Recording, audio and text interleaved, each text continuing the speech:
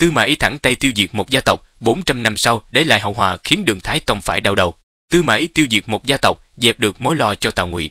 Tuy nhiên, 400 năm sau, chiến tích này lại vô tình để lại hậu họa khiến Đường Thái Tông Lý Thế Dân phải chịu thất bại đáng tiếc. Trong Tam Quốc, nhân vật quyền lực nhất, thậm chí được coi là trùm cuối chính là Tư Mã Ý. Sau mấy chục năm ẩn nhẫn chờ thời, chịu đựng ba đời Tào Gia, Tào Tháo, Tào Phi và Tào Duệ, Tư Mã Ý đã tiến hành một cuộc lật đổ ngoạn mục vào năm 249. Biến hoàng đế của Tào Ngụy chỉ còn trên lý thuyết. Tư Mã Ý nắm đại quyền của Tào Ngụy, tạo tiền để vững chắc cho cháu nội là Tư Mã Viêm soán ngôi nhà Ngụy, thành lập nhà Tấn, chấm dứt thời kỳ Tam Quốc đầy biến động. Tư Mã Ý được đánh giá là một chính trị gia, nhà quân sự tài giỏi thời Tam Quốc, một nhân vật kiệt xuất, đồng thời là kỳ phùng địch thủ của gia Cát Lượng. Trong thời kỳ này, Tư Mã Ý có sức ảnh hưởng rất lớn. Nhất cử, nhất động của ông cũng có thể ảnh hưởng đến cục diện của Tam Quốc, thậm chí là cả các triều đại nhà Tùy, nhà Đường sau này. Lúc sinh thời, Tư Mã Ý nổi tiếng là người túc trí đa mưu, giúp Tào Ngụy có thể giữ vững được vị thế thời Tam Quốc. Ông từng lập công lớn giúp Tào Ngụy với bớt nỗi lo về thế lực bên ngoài. Tuy nhiên, việc làm này của Tư Mã Ý lại vô tình để lại một hậu quả không ngờ và 400 năm sau trở thành vấn đề nhức nhối. Vấn đề này thậm chí khiến cho Đường Thái Tông Lý Thế Dân, một trong những vị hoàng đế vĩ đại nhất trong lịch sử Trung Quốc, cũng phải đau đầu vì không giải quyết được. Rốt cuộc Tư Mã Ý đã làm gì và mối hòa để lại cho hậu thế ra sao? Tư Mã Ý lập đại công cho Tào Ngụy. Vào thời nhà Hán, ở phía đông bắc có nước cao cầu ly, ở phía bắc bán đảo Triều Tiên rất mạnh. Tuy nhiên, so với sự phát triển hùng cường của nhà Hán thì nước này vẫn còn rất nhỏ. Cao Câu Ly tuy đầu hàng nhà Hán nhưng vẫn nuôi tham vọng. Trên thực tế, nước này nhiều lần phát binh khởi nghĩa dưới thời Vương Mãn, một quyền thần nhà Hán.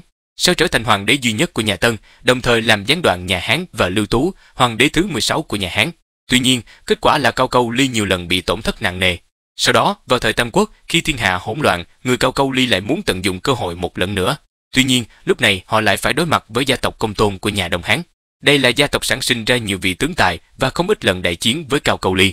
Mặc dù Cao Câu Ly bị gia tộc công tôn đàn áp, tuy nhiên tình hình đã thay đổi khi Ngụy Minh đế Tào Duệ 204-239, vị hoàng đế thứ hai của triều Tào Ngụy lên ngôi. Theo đó, vào năm 237, Ngụy Minh đế muốn thôn tính Liêu Đông nên ông đã sai thứ sự U Châu là Vô Kỳ Kiệm, hoặc Vô Khấu Kiệm mang chiếu thư của triều đình đến gọi Công Tôn Uyên, quân phiệt các cứ ở Liêu Đông, vào Lạc Dương để triều kiến. Công Tôn Uyên đu lo sợ bị bắt giữ nên không dám vào chầu và cuối cùng khởi binh phản ngụy. Kết quả, quân Liêu Đông giao tranh với quân U Châu tại huyện Liêu Toại. Công Tôn Uyên đã đánh lui được Vô Kỳ Nhiệm. Sau đó, Công Tôn Uyên tự xưng làm Yên Vương, đồng thời cử người đi quan hệ với người tiên ti ở Nội Mông nhằm khuấy đảo vùng biên giới nước Ngụy. Đến năm 238, Tào Duy trao cho Tư Mã Ý đảm nhận nhiệm vụ mang theo đại quân tấn công Yên. Tư Mã Ý túc trí đa mưu dẫn đại quân hai lần đánh bại Công Tôn Uyên trên chiến trường và buộc vị thủ lĩnh này phải lui về Tương Bình. Quân Ngụy đã bao vây thành Tương Bình. Lúc này, trời đột ngột đổ mưa khiến cho cuộc chiến giữa hai bên bị gián đoạn. Sau khi mưa tạnh, Tư Mã Ý đã tung ra một cuộc tấn công tổng lực đánh thành gấp. Dù Công Tôn Uyên sai người đi thỉnh cầu giải vây, đồng thời xin đưa nộp công tin sang Ngụy, nhưng Tư Mã Ý đều không chấp nhận. Cuối cùng, do không còn cách nào khác nên Công Tôn Uyên đánh phải phá vòng vây để thoát ra. Ông cùng với các tướng lĩnh đánh ra cửa Nam nhưng không thoát khỏi vòng vây và cuối cùng bị tử trận ở bên bờ sông Lương Thủy. Các con của Công Tôn Uyên cũng bị giết khi chạy trốn. Tư Mã Ý dẫn đại quân vào thành Tương Bình thực hiện một cuộc đại sát.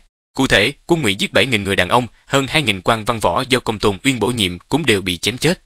Theo ghi chép trong lịch sử, gia tộc Công Tôn, tính từ Công Tôn Độ trấn giữ ở Liêu Đông từ năm 189 thời Hán Linh Đế.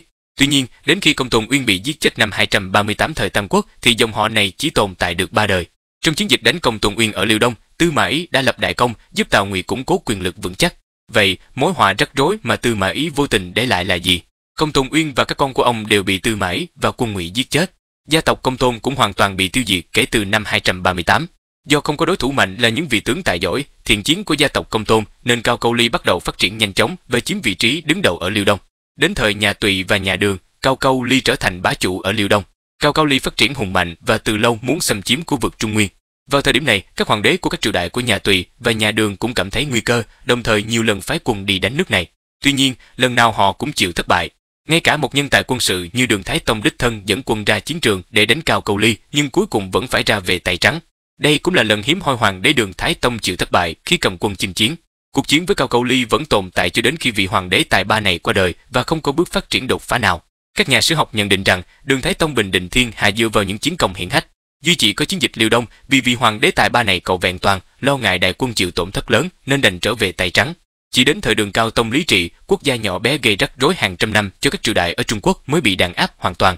Bài viết tham khảo nguồn Sohu, Baidu. Người đưa tin.org